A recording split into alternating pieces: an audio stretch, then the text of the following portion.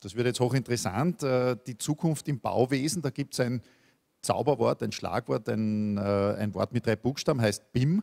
Äh, der Wiener denkt jetzt an ganz was anderes. Für die, die BIM noch nicht kennen, das ist Building Information Modeling, also eigentlich auf gut Deutsch Gebäudedatenmodellierung. Und wir haben einen Experten äh, zu diesem Thema bei uns. Das ist der Baumeister Hans-Peter Schachinger äh, von Switelski. Er kommt aus dem Baugewerbe, hat selbst einen Hochbaubetrieb geleitet und ist seit einiger Zeit nun äh, bei Switelski auch äh, äh, speziell für dieses Thema zuständig. Äh, wir werden ein bisschen was darüber hören jetzt, wie man sozusagen mit modernen digitalen Methoden hier in der Bauwirtschaft sich einen Standortvorteil, einen Wettbewerbsvorteil erarbeiten kann. Ich freue mich schon sehr darauf und darf äh, den Herrn Schachinger bei uns auf der Bühne recht herzlich begrüßen.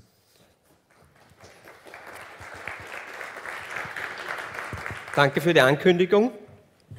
Also ich habe jetzt, also zuerst freut es mich, dass ich da beim ID mit dabei sein darf. Ich komme ja doch aus einer traditionellen Branche, also die Baubranche wird sehr traditionell und konventionell gesehen. Umso spannender ist es jetzt, diese Transformation von Google zu einem traditionellen österreichischen Bauunternehmen zu machen. So, Blättern funktioniert nicht, okay. Page up. So, das war jetzt zu weit.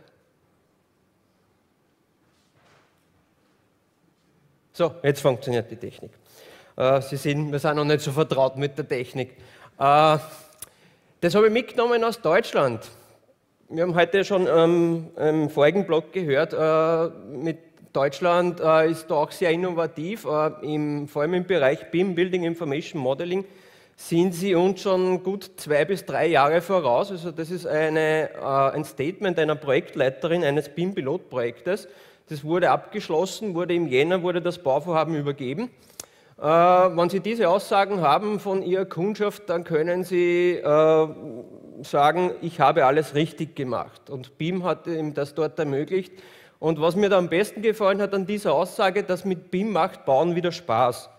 Also ich komme aus der Baubranche, ich bin in der Praxis tätig gewesen, habe einen Baumeister gemacht, bin in Niederösterreich zu Hause und bin seit 2015 BIM-Beauftragter bei Swidelski, äh, habe in meiner 20-jährigen Berufslaufbahn zehn Jahre in einem ausführenden Unternehmen verbracht, dort mit der Leitung des Hochbaubetriebes. Und dann habe ich gewechselt, zehn Jahre auf die Planungsseite. Ich habe mir das von der anderen Seite angesehen und habe dort ein, ein, ein kleines Unternehmen als Tochterunternehmen äh, geleitet, äh, wo wir für das, ein mittelständisches Bauunternehmen mit 400 Mitarbeitern die Planungen gemacht haben. Das war mir dann auch zu wenig. Ich wollte unbedingt dann nach Wien kommen und GU-Bauleiter, also wirklich mal auf große Baustellen äh, tätig sein. Ähm, die Karriere da als GU-Bauleiter hat nicht lange gedauert. Nach einem Dreivierteljahr äh, bin ich quasi in die Zentrale gewechselt. Und das hat äh, folgenden Grund gehabt. Ich habe mich 2003 schon mit der 3D-Modellierung äh, beschäftigt, wurde damals noch ein wenig belächelt. Ja, warum zeichnest du jetzt plötzlich alles in 3D? Äh, wir machen ja alles in 2D und das funktioniert. Ich habe aber damals schon die Vorteile gesehen dieser Technologie, die darin steckt. Äh, fünf Jahre später habe ich dann 2008 begonnen mit der Mengenermittlung aus diesen 3D-Modellen, weil ich mir einfach gedacht habe, okay, jetzt haben wir diese 3D-Geometrie geschaffen, darin äh, stecken doch Abmessungen, Volumen und Flächen. Man muss doch mit dem auch etwas anfangen können und habe begonnen, daraus Mengen zu ermitteln. Daraufhin haben meine Kollegen gesagt, okay, das lass lieber bleiben, wir machen die Mengenermittlung selbst. Äh, es hat sich dann wieder zerstreut. Äh, wie ich dann nach Wien gekommen bin, ist das erste Mal das Schlagwort BIM gefallen und da war das Thema, dass man aus 3D-Modellen wieder Mengen ermitteln kann, sehr groß. Äh, ich bin dann September 2015 habe ich meine neue Tätigkeit begonnen als BIM-Beauftragter bei der Firma Swidelski, also dass sich äh, Firma Swidelski auch mit dieser Digitalisierung, die da in Zukunft ansteht oder wo wir schon mittendrin sind, beschäftigt. Äh, bin äh, in der Mitarbeit beim ÖBV, bei der Österreichischen Bautechnikvereinigung. Das ist ein Arbeitskreis für BIM in der Praxis. Also in der Theorie gibt es die Norm und wir schauen jetzt, dass wir diese Norm in die Praxis bekommen und habe 2015, 16 auch an einer Weiterbildungsmaßnahme teilgenommen des FH Campus Wien. Das war das Grundlagen äh, des BIM-Managements.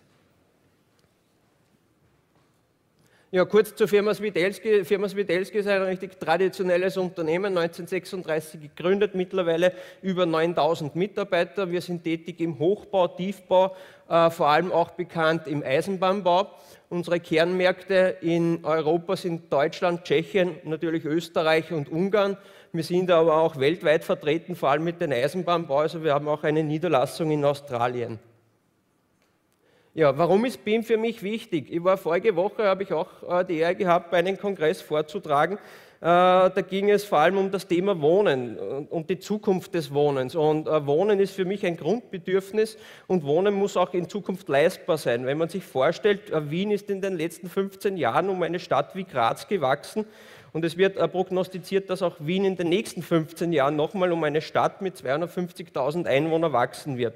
Und um das äh, möglichst äh, kostengünstig durchführen zu können, sehe ich BIM als die Möglichkeit der Baubranche, hier seinen Anteil beizutragen. Ein paar Schlagworte zu BIM, zu Building Information Modeling, äh, die immer wieder mit diesem Begriff verbunden werden. Also in erster Linie ist es ein 3D-Modell mit Informationen. Dann BIM ermöglicht die interdisziplinäre Zusammenarbeit. Wir haben das heute schon gehört, über Unternehmensgrenzen hinweg. Also es kann ein Architekt mit dem Statiker, mit dem Haustechniker zusammenarbeiten. Es gibt auch den englischsprachigen Begriff Collaboration oder heute auch schon gefallen Cooperation. Äh, zwei wesentliche Themen sind auch Value Management und Lean Management. Äh, bis jetzt haben wir Claim geclaimed, also das Claim Management, wenn Sie Bücher anschauen über das Claim Management, die sind dicker als alle anderen Bücher, die Sie über Bautechnik lesen können. Äh, BIM wird erstmalig dieses Value Management ermöglichen, weil es für jeden Partner, Teilnehmer an dem Projekt äh, denselben Wissensstand aufbereitet. Claimen besteht ja in erster Linie aus dem, dass jemand mehr Wissen hat als der andere und das zu seinem Vorteil ausnutzt. Äh, BIM wird da seinen Beitrag leisten, dass wir zu Value Management kommen. Ein anderes großes Schlagwort ist natürlich Lean Management. Also wir wollen jetzt keine überbordende Bürokratie schaffen, sondern möglichst schlanke Prozesse gestalten äh, die mit, digital miteinander verbunden sind. Und da gibt es noch drei Begriffe dazu, äh, denen ich äh, sehr stark vertrete. Das ist für mich dieses OpenBIM.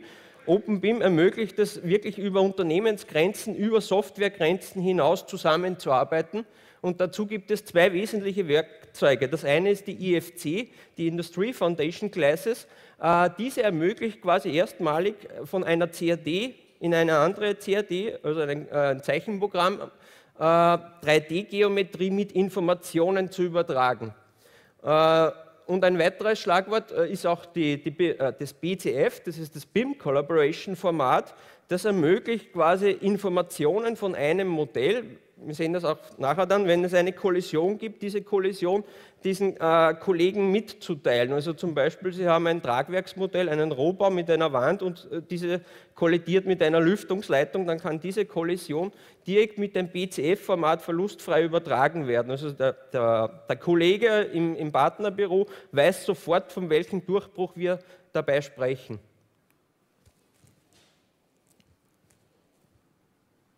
Ja, wie sieht die heutige Realität aus? Also das sind einige Schlagworte, die ich da gesammelt habe. Man könnte jetzt wahrscheinlich einen ganzen Tag darüber moderieren. Also mit dem kämpfen wir jetzt in der Realität Verzug, Mängel, fehlende Schnitte, Massenfehler. Das Ganze ist nicht nachvollziehbar. Von wo kommen die Massenmengen her? Natürlich hat das dann äh, Übertragungen auf die Kosten. Die Kosten explodieren, weil plötzlich irgendwo äh, Dinge auftauchen, die man vorher nicht berücksichtigt hat. Falsche 2D-Pläne, also das habe ich in meiner Praxis nicht einmal erlebt dass, äh, sondern mehrmals, dass quasi der Schnitt mit dem Grundriss so gut wie überhaupt nichts zu tun hatte. Und vor allem, was die Investoren natürlich dann das schwierig macht, aufgrund dieser Information Entscheidungen zu treffen. Also mir würde es auch schwer fallen, eine Entscheidung zu treffen, wenn ich weiß, dieser Grundriss passt mit dem Schnitt nicht überein. Ja, und leider endet das dann in diesen Schlagzeilen. Also da ist es egal, wo man da hinschaut, man wird immer wieder diese Schlagzeilen finden. Und, und BIM soll dazu beitragen, dass diese Schlagzeilen in Zukunft nicht mehr äh, stattfinden. Ja, ich habe mir dann aber auch Gedanken gemacht, wie sieht eigentlich die. Es gibt auch sehr viele Bauvorhaben, die sehr gut funktionieren, nur die werden halt nicht über die Medien äh, kommuniziert. Und da habe ich mir Gedanken gemacht, okay, warum? Warum brauchen wir BIM? Äh, wir bauen ja jetzt auch und da habe ich dann festgestellt, ich bin da in Deutschland bei einer Baustelle vorbeigekommen und auf der linken Seite Tafel sieht man, da habe ich zuerst geglaubt, das sind die ausführenden Unternehmen. Beim näheren Hintreten habe ich dann gesehen, das sind die planenden Unternehmen. Also Sie haben für dieses Bauvorhaben alleine 19 planende Unternehmen benötigt und auf der ausführenden Seite hatten Sie 31 Unternehmen. Also wir reden heutzutage bei einem mittleren Bauvorhaben von 50 Unternehmen, die Sie mittlerweile miteinander vernetzen müssen. Und dazu haben wir denkbar schlechte Werkzeuge. Also wir arbeiten mit, mit Word-Files, mit Excel-Files, wir schicken E-Mails hin und her, so wie im, im Vortrag äh, zuvor, wo man dann bei der zehnten E-Mail-Version angekommen ist und eigentlich nicht mehr weiß, was ist jetzt richtig, stimmt der Anhang noch, ist der Plan jetzt der letztgültige oder hat sich mittlerweile wieder was geändert. Und wir schaffen jetzt nur diese Komplexität äh, in den Griff zu kriegen durch mehr Personaleinsatz. Also wir haben immer mehr Personal, wir haben immer mehr Unternehmen, die wir beschäftigen müssen, um ein Bauvorhaben abzuwickeln. Und das Ganze hat natürlich dann Auswirkungen auf die Produktivität. Also ich war im Herbst in der Schweiz äh, dort hat Siemens diese Folie präsentiert, also die zeigt sehr schön, wie sich die Produktivität entwickelt hat. Man sieht sie hier auf, äh, auf der Manufacturing-Seite, auf der äh, produzierenden Seite ist sie von 1991 bis 2011 von 100 auf 170 gestiegen. In der Baubranche hat sich keine Steigerung nicht ergeben. Im Gegenteil, es, wir sind auf demselben Niveau wie vor 20 Jahren oder mittlerweile dann 30 Jahren. Dann habe ich mir das angeschaut, wie, wie schaut das in Österreich aus. In Österreich, diese Quelle der Statistik Austria, sieht das nicht viel besser aus. Äh, Maschinenbau, PKW oder die Gesamtindustrie hat sich dementsprechend entwickelt. Die Bauindustrie ist am selben Standard wie 2005, also dort findet nicht wirklich eine, eine Produktivitätssteigerung statt. BIM soll eben dazu beitragen, diese äh, Prozesse wieder schlanker zu machen, äh, digital zu gestalten, um dementsprechend die Produktivität im, Bauweisen, im Bauwesen zu erhöhen. Ja, wir haben heute eh schon viel darüber gehört, was ist Digitalisierung und Industrie 4.0. Äh, wie verstehe ich Digitalisierung? Also jeder kennt das von uns, jeder hat mittlerweile ein Smartphone, ein Tablet oder einen Internetzugang. Und dann habe ich da drei Firmen, die hatten wir da auch schon mehrmals äh, stellvertretend für die Digitalisierung. Äh, wenn man überlegt, was haben diese Firmen gemeinsam? Also alle drei Firmen, Amazon, Google und Uber, haben eigentlich kein, nichts wirklich Neues erfunden. Also Amazon, den Handel gibt es schon seit über 1000 Jahren, ein Lexikon gibt es auch schon äh, seit langer Zeit und, und Taxiunternehmen gibt es auch schon dementsprechend lang. Was alle diese drei Unternehmen miteinander haben, sie haben die Prozesse neu definiert und schlanker gestaltet. Und wir kommen dann zur nächsten Folie, was alle drei Unternehmen auch miteinander haben, außer dass sie erst vor kurzem entstanden sind und schnell gewachsen sind, sondern sie haben eine disruptive Technologie und das äh, Kodak und Nokia ist heute auch schon gefallen. Kodak war Weltmarktführer in der digitalen, äh, also in der Fotoindustrie, hat aber das Ganze dann abgegeben, weil sie quasi die Entwicklung der digitalen Fotografie selbst im Haus hatten, entwickelt hatten, aber nicht äh, quasi zur Marktreife weitergeführt haben, sondern das eigentlich günstig an ein heute sehr erfolgreiches Unternehmen verkauft haben. Und vor zehn Jahren war Nokia für jeden ein Begriff, es hatte fast jeder ein Nokia-Handy. Nokia war auch äh, über ein Jahrzehnt Weltmarktführer. Äh, die Sparte wurde jetzt auch um einen Bruchteil an ein anderes Unternehmen weiterverkauft. Ja, dann ein kurzes Thema, was ist eigentlich Industrie 4.0? Äh, es hat die großen äh, industriellen Revolutionen gegeben seit 1800. Die erste war quasi die Dampfmaschine, die hat um 1800 begonnen. In Wien hat es dann so um 1830 begonnen. Die zweite industrielle Revolution war der, Strom, die Fließbandarbeit wurde entwickelt. Die dritte fand dann in den 70er Jahren statt, das hat der Einzug der IT äh, äh, hat stattgefunden, also es wurden Computer angeschafft. Und jetzt sind wir in der vierten industriellen Revolution, also das Schlagwort Industrie 4.0 ist jetzt die Vernetzung äh, Mensch, Maschine und Maschine zu Maschine oder IT zur Maschine. Und da kommen wir jetzt zu diesem Schlagwort BIM. Also BIM ist quasi die Antwort der Bauindustrie auf Digitalisierung und Industrie 4.0. Man sieht das hier äh, ganz schön, das wurde 2008 äh, von der Firma Autodesk, einem großen CAD-Hersteller in München, das erste Mal präsentiert, äh, Building Information Modeling. Und Building Information Modeling deckt einen sehr großen Kreis ab. Also das beginnt hier links quasi mit der ersten Idee, überhaupt ein Gebäude zu machen, geht über das ganze Design, die Planung bis zur Vorproduktion eines Gebäudes, dann über zur Ausführung eines Gebäudes und was ein wesentlicher Teil ist, vor allem auch in dem Betrieb, in das Facility Management, weil man oft äh, sieht, äh, Gebäude werden in zwei, drei Jahren errichtet, werden aber dann 30 bis 50 Jahre betrieben. Und da ist es sehr interessant, dass man eine Technologie hat, wo man vorab in der Planung schon simulieren kann, okay, wie wirkt sich meine Planung auf den Betrieb aus? Welche Betriebskosten entstehen dann quasi in der Laufzeit äh, des Gebäudes? Und diese Daten werden übertragen bis in, in den Rückbau. Man will ja quasi wissen, es ist ein bisschen so ein Schlagwort, das Urban Mining. Wie viel Rohstoff steckt eigentlich in einem Gebäude? Mit welchen äh, Baustoffen kann man äh, rechnen, dass man aus diesem Gebäude gewinnen kann? Und in jedem dieser einzelnen Bereiche findet wieder eine Innovation statt, äh, wo quasi die Firmen untereinander die Daten austauschen können. Vor allem ist die, die wesentliche Innovation, die BIM hat und die Digitalisierung hat, ist die Vernetzung untereinander, dass Daten ohne Verlust übertragen werden. Jetzt kurz ein paar Potenziale von BIM, also vor allem in, in der Projektierung, in der Planung erwartet man sich und hat es auch mittlerweile auch schon erfahren, dass wesentliche Steigerungen in der Effizienz durch den raschen Datenaustausch erfolgen. Äh, dann ist es erstmalig, wie vorher schon erwähnt, die interdisziplinäre Zusammenarbeit, also wird wesentlich durch BIM unterstützt. Das ist ein sehr gutes Werkzeug dafür. Äh, was BIM äh, vor allem für Investoren große äh, Möglichkeiten bietet, ist diese Kosten- und Vertragssicherheit und vor allem auch Terminsicherheit, weil diese Kosten, das sieht man dann in der Mengenermittlung, werden quasi direkt mit einer 3D-Geometrie verknüpft. Dann große Bereiche sind das Lifecycle Management, also im Facility Management und auch in der Nachhaltigkeit. Und äh, wie vorhin auch schon gesprochen, die Übertragung der Daten ins Facility Management. Und es können auch noch weitere Prozesse angeschlossen werden, wie das ganze Bestellwesen von Bauprodukten, wenn zum Beispiel Hersteller im 3D-Modell die Informationen haben, okay, welche Fenster brauchen wir dort, wie groß sind die Fenster, aus welchem Material sollen die Fenster bestehen und auch einen anderen Bereich äh, in Simulationen, dass diese 3D-Modelle äh, plötzlich äh, durch eine Standardisierung es ermöglichen, dass Simulationen äh, nicht intern im Haus gerechnet werden, sondern weltweit auf Großrechnern durchgeführt werden. Also da tun sich wesentliche neue Möglichkeiten in Zukunft auf. Ja, und das ist jetzt im Prinzip, wie funktioniert das? Also das Ganze wird ein, zu einem Koordinationsmodell zusammengestellt. Das besteht aus verschiedenen Fachmodellen. Das wesentliche Fachmodell ist jetzt einmal vom, von der Architektur, die Architekturplanung. Dann kommen äh, zwei wesentliche dazu, das ist die Tragwerksplanung, also die Statik eines Gebäudes und ein, ein, großer Teil in Zukunft wird die technische Gebäudeausrüstung sein, die DGA. Also man sieht das heute schon, dass immer mehr Haustechnik in den Gebäuden verbaut wird und die Lebenszeit dieser Haustechnik verkürzt sich. Also nach 10, 10 15 Jahren hat sich quasi die Technologie schon wieder so weiterentwickelt, dass ihre Haustechnik schon wieder veraltet ist.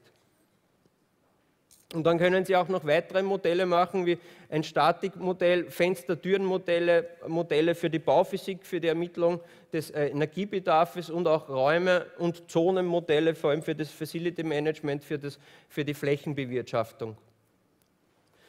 Das ist jetzt also ein großer Vorteil dieser äh, Teilmodelle. Diese müssen sich vorstellen, diese Teilmodelle werden in einer Software, hier, wie hier von Solibri, ineinander verschoben und dann können Sie äh, dort Kollisionsermittlungen machen.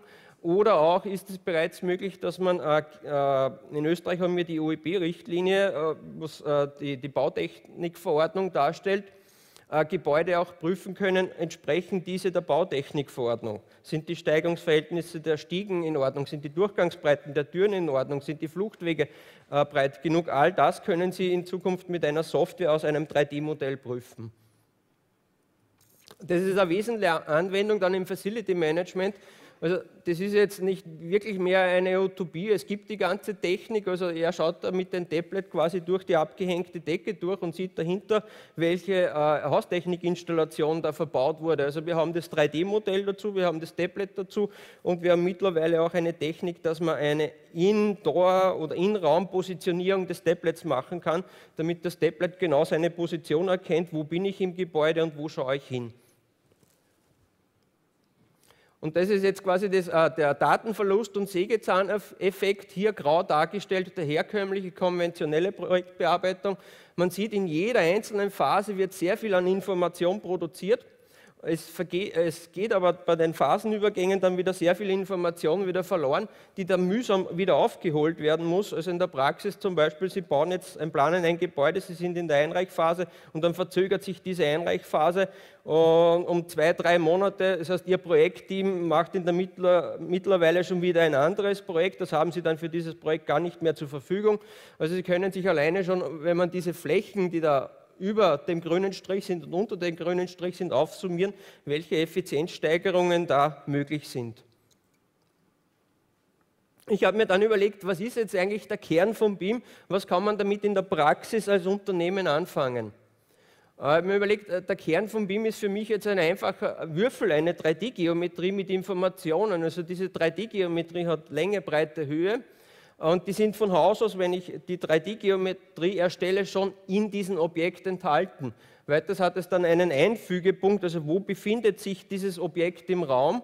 Und dann kann ich die Information, also das I im BIM, die Information auf dieses Objekt draufhängen und ich sage zum Beispiel diesen Würfel, weißt was, du bist jetzt Material Beton, du bist jetzt Ziegel und mit diesen Daten kann man dann quasi was anfangen. Also es ist quasi das erste BIM-Objekt, das Urprojekt. Man sieht dann rechts hier blau und gelb dargestellt, wie das in einem äh, BIM-Modell gekennzeichnet wird. Es bekommt einen Identifier, damit man alle Projekte durchnummeriert hat. Und mit diesen Attributen und Eigenschaften, haben wir jetzt auch heute schon gehört, geht man dann ins Coden, in die Programmierung. Also es wird in Zukunft so sein, dass man irgendwo eine Basisausbildung in der Programmiersprache haben wird müssen als Techniker. Man kann nämlich dann mit diesen Eigenschaften sogenannte if-Bedingungen machen. Also wenn du Material so bist und, und dieser Würfel oder dieses Objekt bist, dann mache das. Ja, und dann übertragen wir quasi diese Überlegung jetzt auf Bauteile. Also wir haben jetzt da zum Beispiel ein kleines 3D-Modell, wo wir eine Wand haben und eine Fensteröffnung. Man sieht oben rechts bei der Wand, da hängt ein ID drauf, ein Identifier, also dass diese Wand als ein, äh, eindeutig identifizierbar ist. Dann hängt da zum Beispiel drauf Material, hier beim Beispiel Beton der Klasse C2530 und natürlich die Abmessungen. Und genauso spielt sich das bei anderen äh, 3D-Objekten dann weiter. Und aus diesem Ganzen entsteht dann eine Datenbank. Sie sehen oben quasi, kann ich die Eigenschaften, die sind beliebig erweiterbar. Ich kann auf, diesen, auf dieses 3D-Objekt beliebige Eigenschaften draufhängen, was Sie wollen. Wärmeschutz, Schallschutz, äh, die Kosten, wer ist der Hersteller, wann wurde es produziert. Und genauso ist auch die, diese Tabelle äh, vertikal erweiterbar, in, unendlich quasi an, an Objekten, die Sie da aneinander fügen können. Und das Wesentliche ist, dass diese Datentabelle mit einem 3D-Objekt in der Geometrie verknüpft ist und natürlich immer eindeutig äh, zuordnenbar ist, welche Eigenschaften hat dieses Objekt. Und das Ganze nennen wir dann das Datenmodell. Ja, kurz dann noch einmal praktische Umsetzung dieser Technologie. Also wo wenden wir das jetzt an? Äh, bei unserer großen Aufgabe aus äh, quasi aus, aus Planungen, aus 2D-Planungen äh, Mengenermittlungen zu rechnen, um Angebote für Kundschaften erstellen zu können. Also wir haben wir links dargestellt eine 3D-Geometrie und diese wollen wir in ein Angebot mit Mengen, mit Leistungspositionen und mit Preisen übertragen. Das funktioniert jetzt äh, herkömmlicherweise, also wir kriegen sehr viele Daten in 2D, also es wird quasi jetzt über Assistenten wird dieses 3, äh, Modell, dieses Bauvorhaben nachmodelliert. Äh, wir werden jetzt von der händischen Übertragung dann in Zukunft auf die IFC-Übertragung umsteigen, also erste Erfolge äh, oder Tests haben schon gezeigt, dass wir 50 bis 60 Prozent der Daten, ohne dass wir uns vorher mit dem Plan abgestimmt haben, übertragen können und auswerten können. Und genau erste Tests haben gezeigt, dass wir diesen ähm, Wert auf bis zu 80 bzw. mehr Prozent übertragen können. Das heißt, wir können automatisch 80 Prozent und mehr direkt in unser System vom Planer, vom Projektanten übertragen und dann auswerten. Und das Ganze können, können Sie sich vorstellen, hat wesentliche Vorteile in der Angebotserstellung, in der Arbeitsvorbereitung. Und da ist jetzt wieder der Kern, also diese Verknüpfung ist die IFC-Schnittstelle. Also die IFC-Schnittstelle ist äh, global tätig, das ist die Building Smart, äh, Building Smart International wurde die entwickelt. Die IFC-Schnittstelle ist mittlerweile auch ein Begriff in China. China möchte zum Beispiel sein komplettes Eisenbahnsystem über IFC digitalisieren lassen. Ja, wie funktioniert das in der Praxis? Also wir haben da quasi so Assistenten entwickelt, da zum Beispiel anhand eines Streifenfundamentes. Äh, Assistenten bzw. Ähm, CAD-Standards im Büro ermöglichen natürlich, dass einmal ein einheitliches äh, Modellieren oder Zeichnen ermöglicht wird. Dieses Streifenfundament bekommt jetzt äh, Attribute oder Eigenschaften, in dem, in dem Beispiel Betongüte, dann geben wir an, wie viel Stabstahl wir, wir verwenden ob dieses äh, Streifenfundament geschalt wird oder ob es gegen Erdreich betoniert wird. Das sind lauter äh, Möglichkeiten, die Sie an diese 3D-Geometrie anhängen. Da sieht man das dann äh, vom Desktop, vom CAD-Programm, wo diese 3D-Geometrie gezeichnet wird. Und diese Attribute oder Eigenschaften geben den 3D-Körper dann die notwendigen Informationen. So werden dann diese Informationen in der Datenbank abgespeichert und können zu diesem Objekt immer wieder abgerufen werden. Ja, und im Hintergrund haben wir dann eine Programmierung laufen, äh, einen Programmcode, der diese Geometrie abfragt, abfragt und auch die Eigenschaften abfragt und aus diesen Verknüpfungen macht. Und dieses Elementbuch macht dann quasi einen Report aus dem Modell und schreibt in diesem Fall hier die Leistungspositionen. In Österreich haben wir das Leistungsbuch für Hochbau, äh, wo genau definiert ist, wie hat diese Leistung auszusehen und auf dieser Leistung hängt dann automatisch die Menge drauf. Äh, das Ganze wird dann in einer AVA, also in einer Ausschreibungssoftware, wird es von der CAD in die AVA übertragen und wenn Sie dort jetzt quasi ein Stamm-LV haben mit äh, Einheitspreisen, die definiert sind, dann brauchen Sie das Ganze nur mehr verknüpfen und kommen so fast eigentlich automatisch zu einem Angebot. Und der wesentliche Vorteil ist, über diese ID können wir in der 3D-Geometrie immer wieder nachvollziehen, okay, wo sind diese Mengen dieses Fundamentes. Müssen sich vorstellen, das ist vor allem bei großen Projekten, wo man die Übersicht äh, dann verliert, dass man sich dann darstellen kann in, in der 3D-Visualisierung, okay, wo sind meine Fundamente mit dieser Betongüte, wo sind meine Fenster mit diesen Eigenschaften in dem Objekt verbaut. Und ein eine weiteres kleines Highlight ist, dass quasi in, direkt im CAD-Programm die Kosten live mit angezeigt werden. Also man nennt das Design to Cost. Wenn Sie da jetzt das Fundament erweitern oder ergänzen oder was dazu zeichnen, dann steigen automatisch die Kosten oder werden wieder reduziert, je nachdem, wie Sie Ihr Projekt weiterentwickeln. Ja, und das Ganze kann man natürlich dann auch für andere Anwendungen hernehmen. Also wir können äh, Projekte nach Bauteilen auswerten.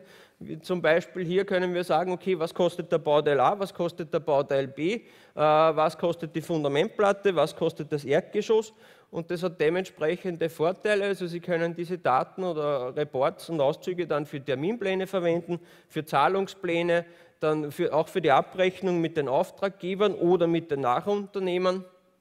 Sie können Varianten rechnen, Sie können sagen, okay, mache ich das in Ortbeton oder mache ich das mit Fertigteilen, indem Sie einfach die Attributisierung ändern.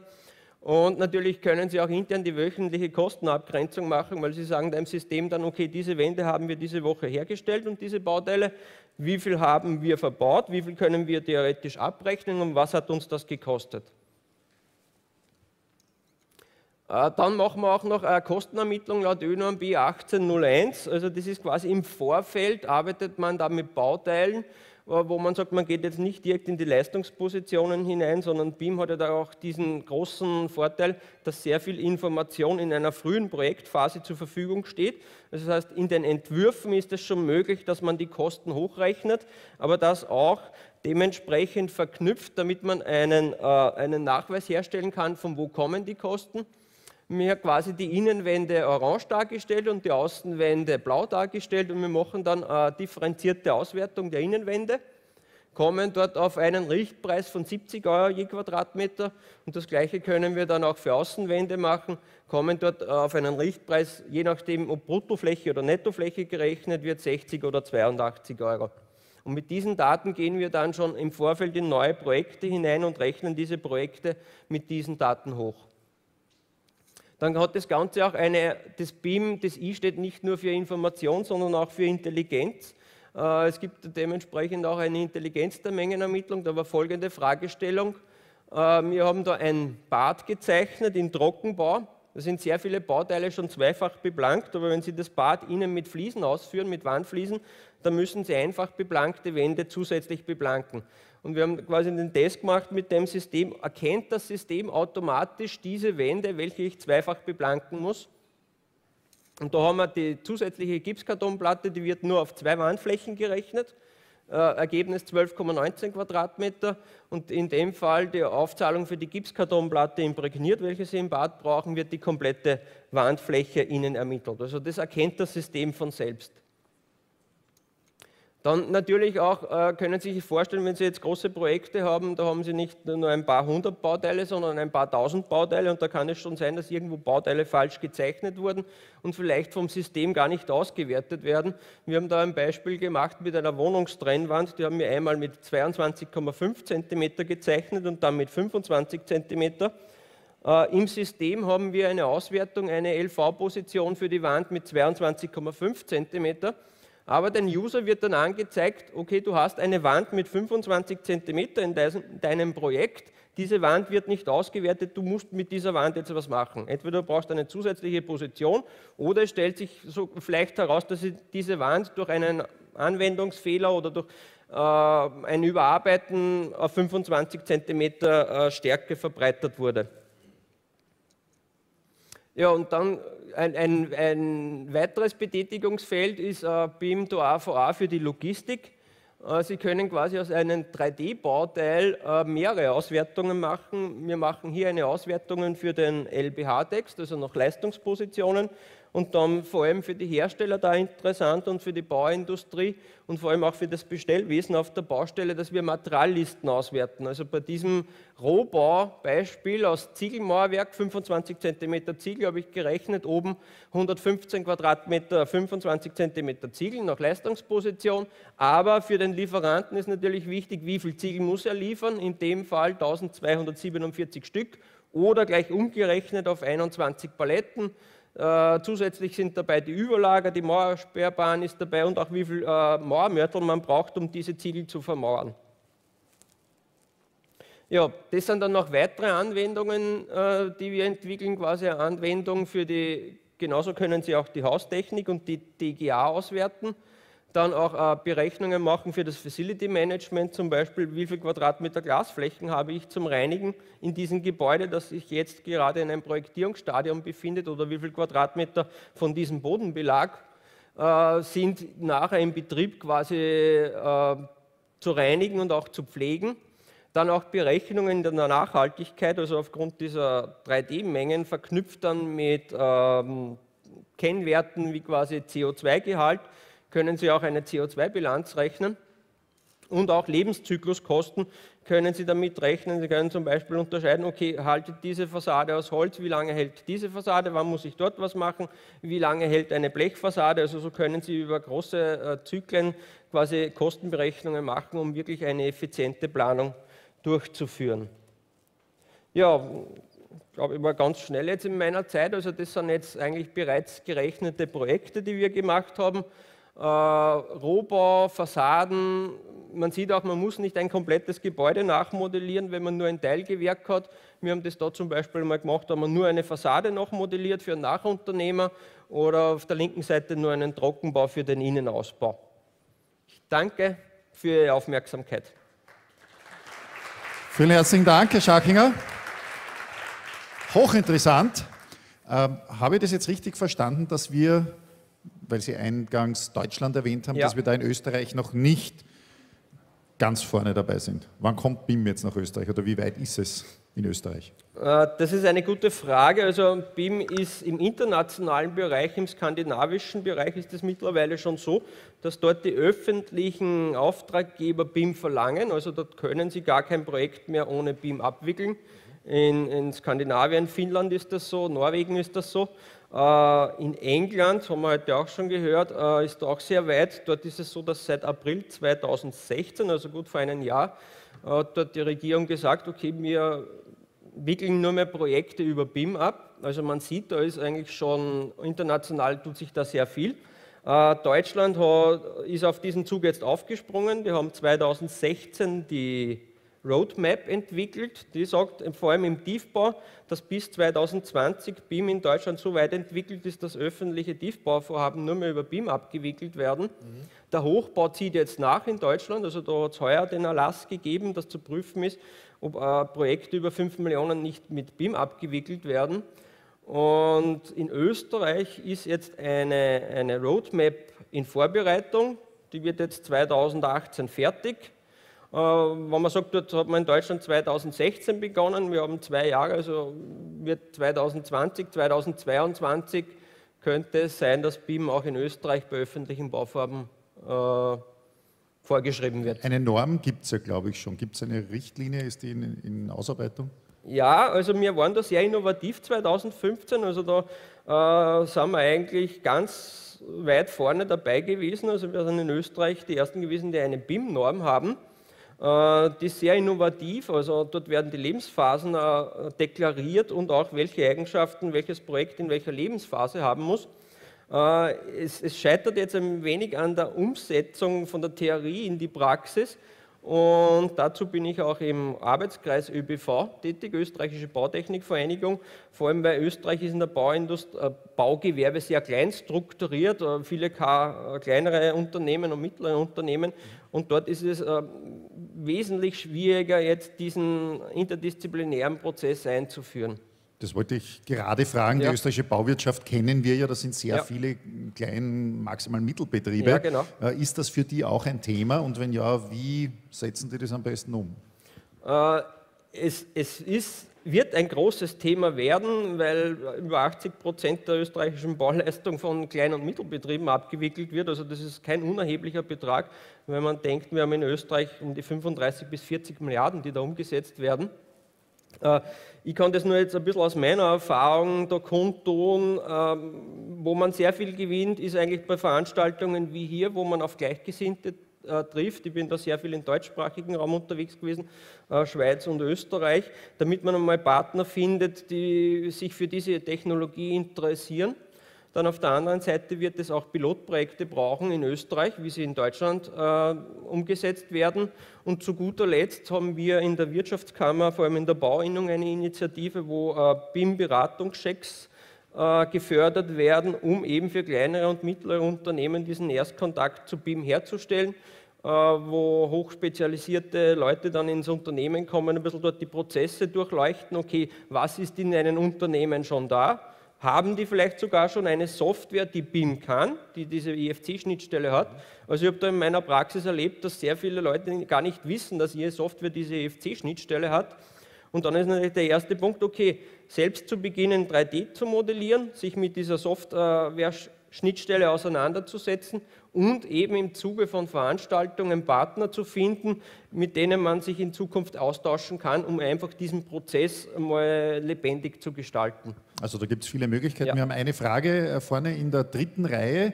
Wenn ich die Kollegin bitten darf, mit dem Mikrofon da ganz kurz einmal hinüberzukommen. Wunderbar. Die nehmen wir gerne noch mit, die Frage. Und dann ist der äh, Eine ganz einfache Frage ja. in die Zukunft gerichtet. Wird es auch für den privaten Häuselbauer mal eine BIM geben? Äh, der Häuselbauer möchte ja sein eigener Bauherr sein, er möchte planen und ausführen. Äh, planen stelle ich mir dann so vor, ich setze mir die Google-Brille auf, schaue auf mein Grundstück und baue mir mein Haus äh, 3D-mäßig zusammen. Und auf der ausführenden Seite stelle ich mir das dann so vor, dass äh, die modulare Bauweise es möglich macht, dass dann nur mehr noch die Module angeliefert werden und innerhalb mein, eines Tages mein Haus steht. Äh, wie beurteilen Sie das, dieses Szenario? Äh, es gibt Entwicklungen in diese Richtung, also diese 3D-Projektierung wird zukünftig stattfinden, natürlich auch vernetzt mit dem Bauherrn. Äh, der Bauherr wird sich wesentlich leichter tun, seine 3D-Projektierung oder Planung zu beurteilen, auch im Einfamilienhausbereich, weil sie quasi ihr Modell äh, dreidimensional dargestellt werden. Also wir haben auch schon Tests gemacht mit, mit Head-Up, mit Head-Ups, äh, mit Head-Up-Displays, also Head ja. genau, wo man sich quasi in diesem dreidimensionalen Raum bewegt und sich das auch dann viel besser vorstellen kann. Äh, und diese Informationen, die werden dann auf diesem 3D-Modell abgespeichert und können natürlich dann eins zu eins über die Schnittstelle an die ausführenden Firmen übertragen werden. Und natürlich äh, ist diese Projektierung im Vorfeld sehr genau und das ermöglicht natürlich auch, dass man äh, quasi viel mehr in Zukunft vielleicht auch mit Fertigteilen arbeitet und das wirklich dann innerhalb kürzester Zeit aufstellen kann. Ich habe da zum Beispiel, es gibt da Beispiele in China, da werden ganze Hotels, 15 Stock hochwertige Hotels in 15 Tagen aufgestellt. Also da ist alles so durchgeplant von der Logistik. Da sehen Sie äh, quasi, da wird die, die Steckdosen und die, die, Heizkörper und die Schalter, die werden nicht mehr durch das Gebäude spazieren getragen, sondern die werden fixfertig auf einer Palette angeliefert, werden in den Raum hineingeschnellt, wo sie dann äh, benötigt werden. Die Arbeiter gehen dorthin, der Elektriker schneidet diese Palette auf, nimmt sich seine Teile heraus und versetzt die. Das braucht natürlich auch ein bisschen einen Kulturwandel, in der Zusammenarbeit. Aber dort sieht man das eigentlich schon, wie man das perfektioniert hat und da wird man auch die Bauweisen dann dementsprechend beschleunigen können. Danke für die Frage. Ich glaube, jeder, der einmal in seinem Leben Haus gebaut hat, kann jetzt nur mit den Augen rollen und sagen, ja. warum war das bei mir damals nicht so? Herr Schachinger, ja. vielen herzlichen Dank. Ich sage danke. Hochinteressant, danke vielmals. Und damit hat äh, unser letzter Referent vor der kurzen Mittagspause jetzt äh, ja, die die Aufgabe, uns jetzt sozusagen bis zum kleinen Mittagssnack bei Laune zu halten.